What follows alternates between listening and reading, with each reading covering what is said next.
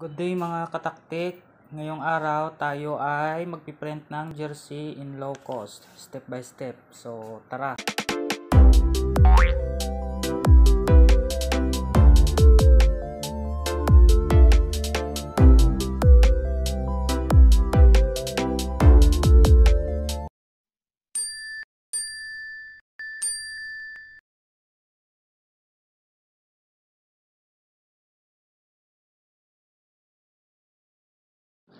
So, bago ang lahat, ah, tayo ay magle-layout ng design sa Adobe Photoshop. May mga kaunting papalitan tayo dito base sa ah, request ng ating mga customer.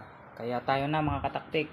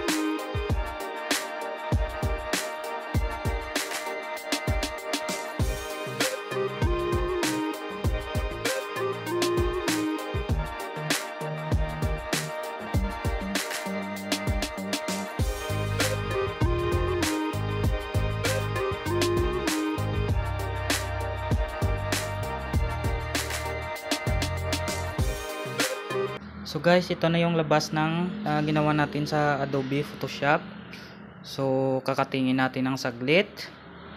Uh, kasi wala pa tayong gamit pang photographic. So sit back and enjoy the music.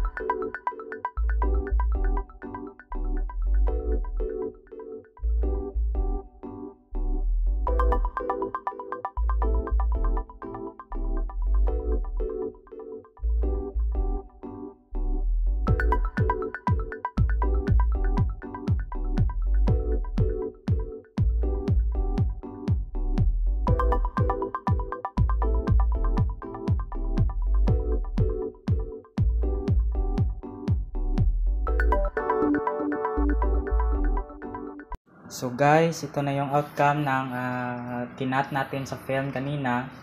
So, hindi ko na nabidyuhan yung pag-mount dito kasi uh, full memory na yung phone. So, ginawa ko, tina, uh, nag-transfer muna ako ng file sa uh, laptop. At uh, ito na, uh, tayo ay uh, hahagod na sa jersey.